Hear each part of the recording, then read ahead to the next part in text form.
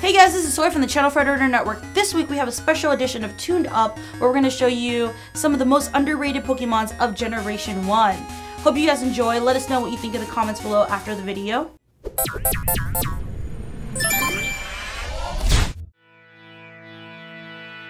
Everyone loves Pokemon, but not all Pokemon are loved equally. Hey, I'm Vincent, and today here on Cartoon Hangover, we're going to take you through our list of the top 12 underrated Pokemon from Generation 1. When I say underrated, I mean Pokemon that just never quite got the credit or popularity they deserve, taking into account a bit of everything character design, moves, some stats in the video games, and personality. Uh, unfortunately, that means Farfetch'd just doesn't quite make the list. I mean, sorry, buddy, I love tiny little spring, onion, celery wielding ducks as much as the next guy, but come on. Number 12, Magneton. Sometimes, Pokemon evolutions are simple. Take an existing Pokemon and put more faces on it. Diglett becomes Dugtrio, Doduo becomes Dodrio, and Klink becomes Klink Klang Klink Klang Klink Clinker Cl- uh, Is that another face on that big gear? What the hell is this thing? Of all the multi-faced Pokemon, Magneton stands out above the rest.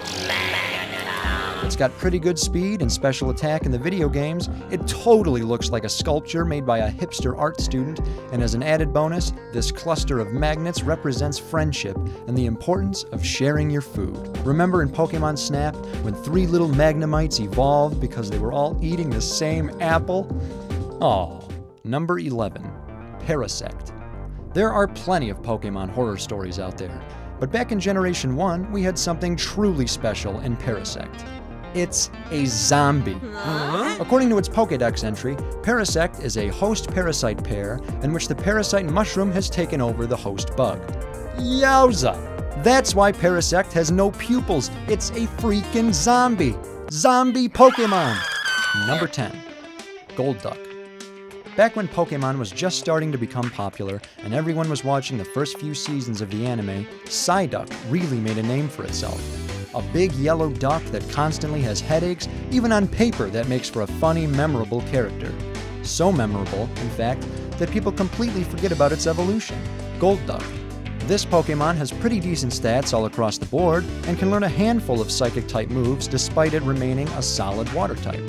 We're talking about a blue duck with a smirk that seems to say, I know something you don't know, topped off with a freaking infinity stone in its forehead. Golduck, man. Number 9. Doduo, the wingless two headed bird, is undeniably cute. With its two heads that don't always seem to agree, a ridiculous voice, and the fact that it's perhaps the most original looking bird Pokemon of the first generation, it's not hard to imagine why we think Doduo is underrated. Number 8. Primeape.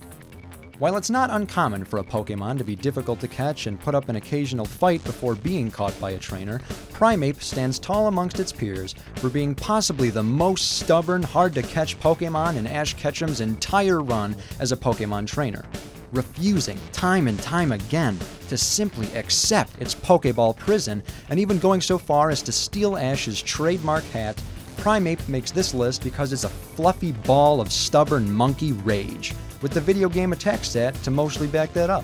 If Pokemon were real, Primeape would be both terrifying and very tempting to hug at the same time. Number 7. Muk.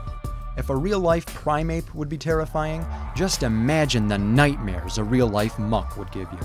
Muk is living sludge living, poisonous, amorphous sludge with a big, drippy mouth and lifeless, cold eyes. Imagine this thing turning a corner toward you as you're walking by an alleyway. Imagine it slipping beneath the crack under your bedroom door late at night as it cries out.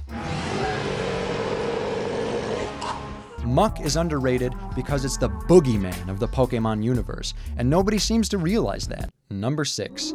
Hypno. I know what you're thinking. Vincent, what could be scarier than the boogeyman of the Pokemon universe? My answer? The Freddy Krueger of the Pokemon universe, aka Hypno, a Pokemon who has yet to really hit mainstream attention for the serious walking creepypasta that it is. I'll give you two of its Pokedex entries from the video games. When it is very hungry, it puts humans it meets to sleep, then it feasts on their dreams. It carries a pendulum like device. There was once an incident in which it took away a child it hypnotized. Oh! Oh, really, Hypno? Just once, huh? That poor kid. Number 5.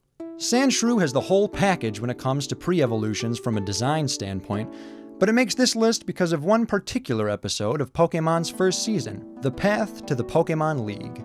In this episode, Ash meets AJ, a very different type of trainer from the hero we're used to. AJ and Sandshrew have a bond similar to Ash and Pikachu's, however, his training methods are very different from Ash's. Using whips, tight bracing, and constantly commanding Sandshrew to dive into water, its natural weakness, this episode really presented some themes that made us think, even as kids. Was AJ's tough love type of training acceptable? Isn't this animal abuse? What could cause someone to be so hard on themselves and their friends? No answers to these questions are given, and AJ doesn't change his ways in the end. Ash and AJ part ways as unlikely friends. This episode really makes an impact, and because of it, along with its adorable armadillo appearance, Sandshrew should serve as a constant reminder of the incredibly dynamic relationships Pokemon can have with their trainers. Number 4. Weezing. Weezing is my personal favorite Pokemon of all time, which just might have something to do with it showing up on this list, but I can tell you why. Weezing has a very impressive defense stat in the games, and his character design's got this interesting blend of I'm gross, but also I'm appealing and helpless. I have no arms. Weezing has a Pokedex entry in Generation 3 that reads By diluting its toxic gases with a special process, the highest grade of perfume can be extracted. Meaning Weezing is both a big, gassy purple balloon, as well as a floating metaphor that you shouldn't judge a book by its cover. Except when it comes to Farfetch'd, Number 3. Venusaur. Anybody who grew up with the first generation of Pokemon could recall a popular debate among Poke fans. Who's cooler, Blastoise or Charizard? Blastoise or Charizard?